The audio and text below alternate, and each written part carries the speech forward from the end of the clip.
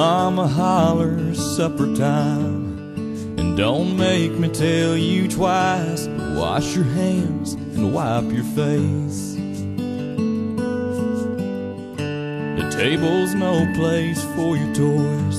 And try to use your inside voice. And don't dig in till we say grace.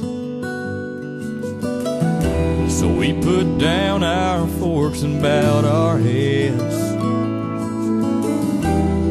She prayed the strangest prayer ever said. I want to thank you, Lord, for noisy children and slamming doors and clothes scattered all over the floor. A husband working all the time, dragging in dead tired at night. A never kitchen and dirty dishes.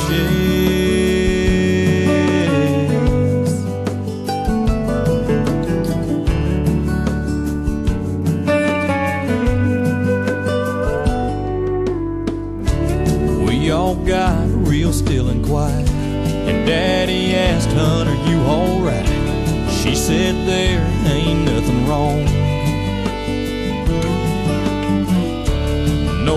Kids are happy kids, and slamming doors just means we live in a warm and loving home. Your long hours and those dishes in the sink means a job